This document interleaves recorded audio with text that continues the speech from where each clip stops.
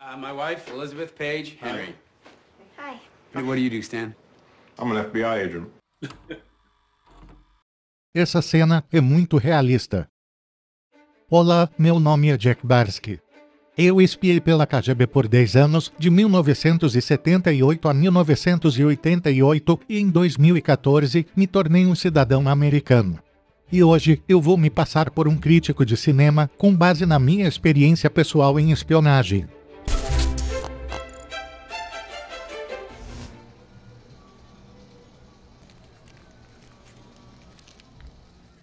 Isso é algo que poderia ter acontecido na vida real. Esse tipo de moedas falsas existem de verdade. A forma como ele abre a moeda usando ferramentas que são facilmente encontradas. E o fato de haver um pequeno pedaço de papel que contém algumas informações. É bastante realista, você sabe. Eu já consegui captar algumas informações através de um rádio de ondas curtas e transmitir essas informações através de um rolo de filme em que eu fotografei algumas coisas que eu anotei em um papel. Ou então eu ocasionalmente vagava por um parque até que despretensiosamente. Eu encontrava uma lata de óleo ou uma lata de bobina e eu pegava aquilo. Levava para casa e depois usava um alicate ou uma chave de fenda para abrir, e tinha um passaporte e dinheiro lá dentro.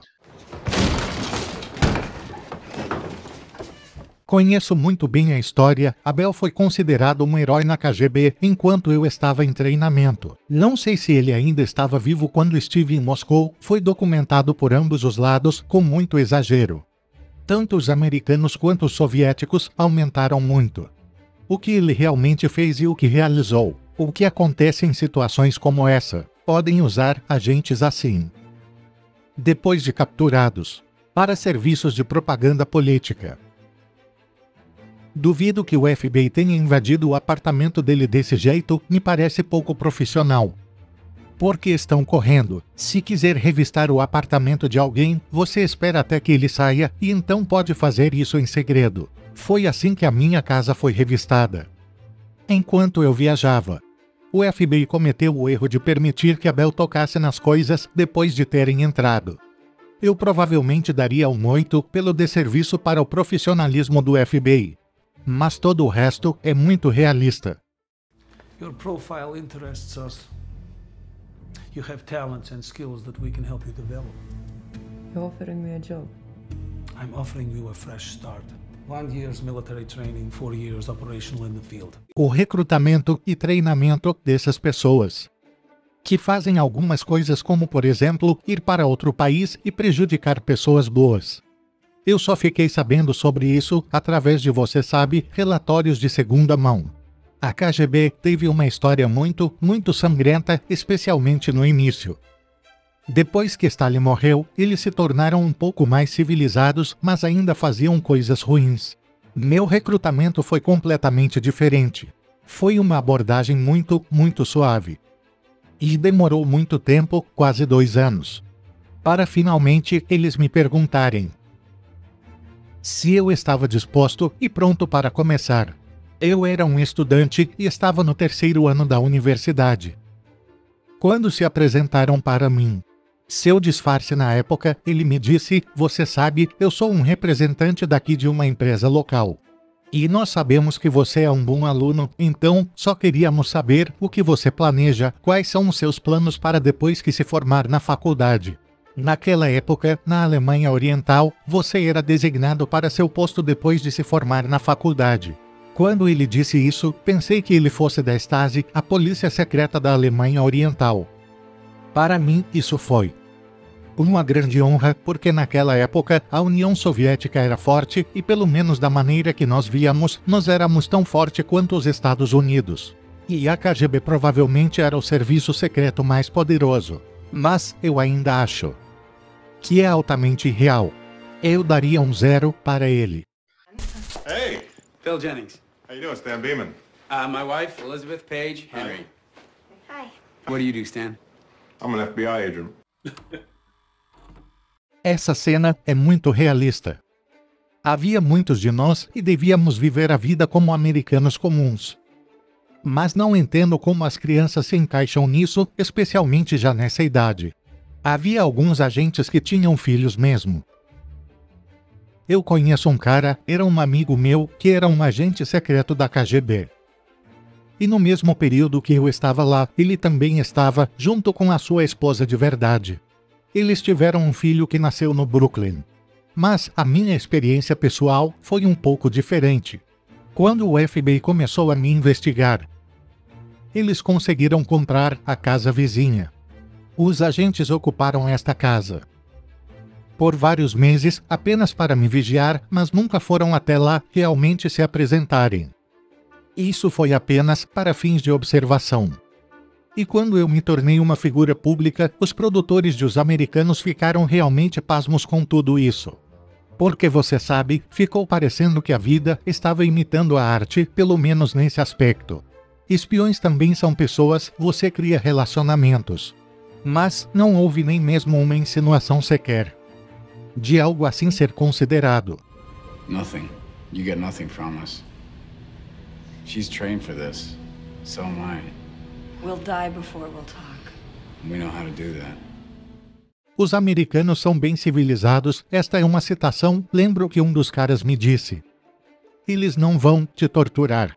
A pior coisa que eles podem fazer é te dar um tapa na cara algumas vezes. Portanto, eu acredito que esta cena toda seja irreal de ambos os lados. Não é assim que a contra-espionagem norte-americana opera. E também não é assim que um agente treinado da KGB iria responder.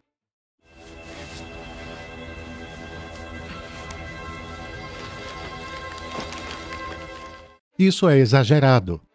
A forma como esses agentes supostamente operam você sabe, administrando uma agência de viagens e sendo pais em tempo integral. E ainda terem tempo de se envolver em vários tipos diferentes de operações. Isso requer muito trabalho, muita preparação e requer que você esteja em três lugares diferentes ao mesmo tempo. Tudo isso é totalmente real. Já disse que toda vez que vejo um dos personagens principais correndo por aí com uma peruca, eu estremeço. E é a última coisa que deveriam fazer, porque imagina se alguém vê e fala: Espera um pouco, eu conheço esse cara, ele parece diferente, que estranho. Com toda certeza. Perucas são um não. Com uma exceção. As pessoas que trabalham na vigilância. Eles aproveitam às vezes para mudar a maneira de se vestir, podem trocar de casaco ou colocar um lenço mas essa mudança nunca é recomendada para alguém que deveria ser um agente secreto operacional de longo prazo. Para o conteúdo, eu daria aos americanos um 5. Training is useful, but there is no substitute for experience. I agree. We use live targets as well. Eu achei isso muito divertido. Eu ri. Principalmente com aquela frase: Nós usamos alvos vivos. Esse treinamento, mesmo do ponto de vista fictício, não faz nenhum sentido. A KGB tinha caras maus. Mas este sujeito, com a jaqueta de couro. Nunca conheci nenhum oficial da KGB que vestisse uma dessas. Se você os conhecesse hoje, do jeito que eram naquela época, pensaria que são apenas pessoas comuns. É o objetivo de ser um espião não se parecer com um. Esse cara parece um comissário pela maneira como eles se vestiam durante os tempos da Revolução na Rússia. A KGB era muito compartimentada, todos os que eu encontrei lá dentro eram cavalheiros. Cavalheiros estes que operavam em nome da União Soviética por uma causa e éramos todos comunistas muito comprometidos. Mas se eles tivessem tentado montar uma unidade militar com todas as pessoas com quem eu trabalhei, nós teríamos perdido logo na primeira batalha. De repente, ela tem uma arma no sapato. Há um museu da KGB em Nova York. E lá eles têm alguns dispositivos que realmente foram usados pela KGB. Provavelmente esse tipo de dispositivo era dado apenas a pessoas muito, muito especiais. Que estavam executando uma tarefa igualmente específica e muito especial como por exemplo se tivesse que matar ou envenenar alguém. Mas esse não era o equipamento padrão que nós usávamos. Qualquer um desses dispositivos é uma prova se a contra-espionagem for na sua casa e encontrar algo com um compartimento secreto. Eu estava operando. dentro do universo do que é considerado normal e padrão. E você pode encontrar um monte de ferramentas e brinquedos para usar, que você pode comprar em qualquer loja. Eu dou menos um.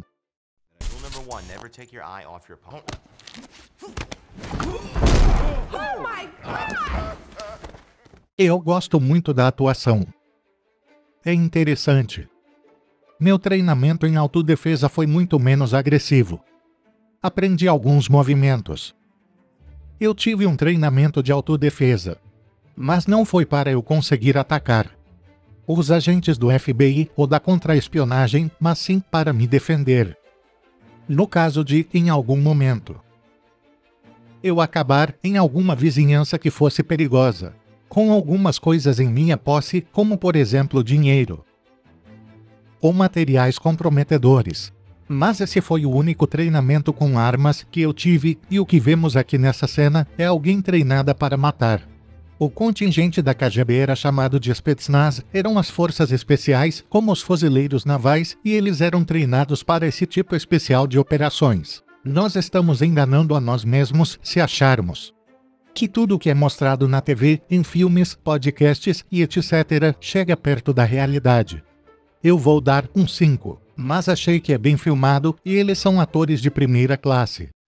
The name of the Russian agent is Salt. Evelyn Salt. My name is Evelyn Salt. Then you are a Russian spy. Truthful. So far, the fMRI scan registers truthful on everything he said. Isso é ficção pura em vários níveis. Primeiro, os agentes adormecidos ficavam completamente isolados, ou seja, eu não poderia trair ninguém nem se quisesse. Os russos fizeram isso muito bem. Era chamado de compartimentação. Não existe um scanner de cérebro que o ajude a descobrir a verdade. Eu ainda fui submetido a um teste com um detector de mentiras, que o FBI ainda gosta muito de usar mas eles ainda podem ser burlados se realmente acreditar na mentira ou se for um mentiroso patológico. Realmente existiam agentes duplos. E houve alguns casos reais em que a KGB implantou alguns agentes infiltrados no FBI e na CIA e eles acabaram causando muito estrago. Se puder, dou zero duas vezes. Are you working for the Americans? I love my country.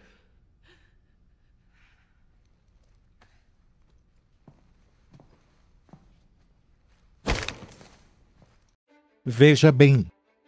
Isso são práticas da KGB dos anos 1930, 40 e do início de 1950, que estão tentando aplicar em um tipo de cena contemporânea, e isso é irreal. Mas a KGB era completamente violenta ao interrogar pessoas, atirando nelas na nuca e usando todos os tipos de brutalidades possíveis é inimaginável, muito parecido com o que os nazistas faziam. Esse é um dos métodos de tortura, usam uma tábua ou algo parecido para prevenir ferimentos reais, hematomas e coisas assim. Last time. Did you give boucher to the Americans? Os métodos são muito mais sutis e muito mais psicológicos do que esse tipo de coisa. Se você ameaça alguém com uma arma e ele sai de lá, vai odiar você para sempre. Existem várias maneiras de fazer alguém falar. Ameaçar a família da pessoa, por exemplo. É um incentivo muito, muito forte mesmo. Quando você tem alguém como eu, eu morei nos Estados Unidos por 10 anos e acabei me acostumando com uma melhora significativa no estilo de vida. Virei americana em muitos aspectos. Achou que armadilhas sexuais são uma realidade, ficaria surpreso se houvesse algum serviço de inteligência importante que não recrute, de alguma forma, mulheres para fazer o trabalho sujo. Eu não recomendaria isso. Then the message comes through. We read you. A coisa começa a digitar. E o cara está já lá esperando no local, bem quando ela começa. Bem, como sabem que ele está lá? Não existia uma maneira real de alguém que estava verdadeiramente isolado enviar uma mensagem urgente. A maneira mais rápida de receber uma mensagem urgente naquela época era através de sinais. E provavelmente a mensagem atrasaria cerca de um dia. Ou pelo menos meio-dia, se o agente enviasse o sinal à noite, eu provavelmente o leria de manhã. Eu não sei se era possível interceptar uma mensagem de teletipo porque eu acho que naquela época a transmissão por rádio teria sido preferível. E provavelmente ela não iria surgir assim espontaneamente. Porque, por exemplo, se você precisar entregar uma documentação sobre, digamos, um sistema de armas, a maneira mais fácil de fazer isso, se você puder, é colocá-la em uma mídia eletrônica. Se for só uma mensagem curta como saia daí, um telefonema resolve mas você precisa estar ciente de que as ligações são rastreáveis. Também existe a comunicação em que as mensagens são compactadas e transmitidas em rajadas curtas. E depois elas são descompactadas na outra extremidade, mas elas têm que ser programadas. Em muitas estações, quando você tem um receptor de rádio de ondas curtas e consegue captar essas ondas curtas, você ocasionalmente vai ouvir alguém dizendo algo do tipo: 5, 8, 6, 9. É uma mensagem secreta para alguém decodificar. I looked for her everywhere. Couldn't find her at the airport. I even looked through all the flight lists. I headed down to the harbor. Neste ramo, se você tem um ativo que é um ser humano que está trabalhando com você, você deve fazer de tudo para protegê-lo.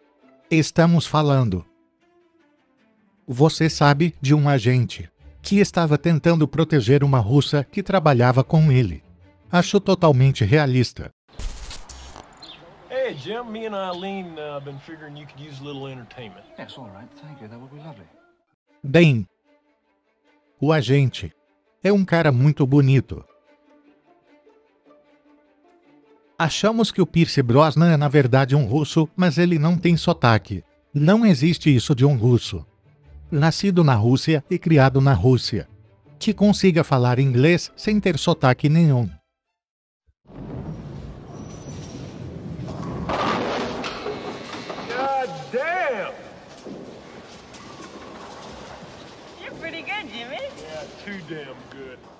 Você tem que ser você mesmo e se for bom em algo pode se exibir. Você vai levando a vida, essa é a ideia. Você deve fazer amizade com muitas pessoas e se misturar o máximo que puder.